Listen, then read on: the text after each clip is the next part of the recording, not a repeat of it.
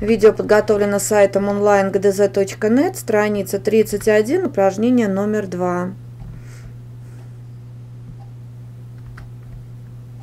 6 это 4 и 2.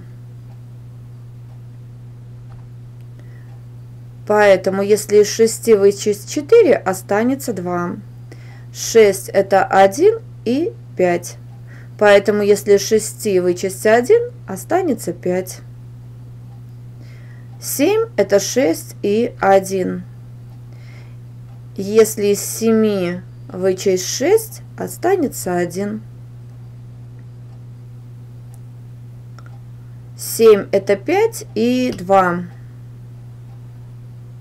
Поэтому если из 7 вычесть 5, останется 2. Если вам понравилось видео, смотрите остальные решения на нашем сайте. Если есть вопросы, предложения или пожелания, подписывайтесь на нашу группу в социальных сетях.